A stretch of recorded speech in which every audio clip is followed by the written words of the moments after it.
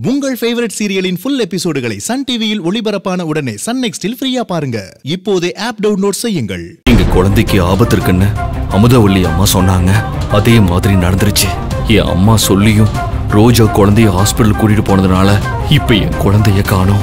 இதை யார் பண்ணிருப்பாங்கன்னு எனக்கு நல்லா தெரியும். சந்திரகாந்த மேம் உதவியோட நிச்சயமா குழந்தைய கண்டுபிடிச்சு ரோஜா கிட்ட கொண்டு வந்து ஒப்படைப்பேன் ரோஜா நாளை இரவு ஒன்பது மணிக்கு உங்கள் சன் டிவியில் காணத் தவறாதீர்கள்.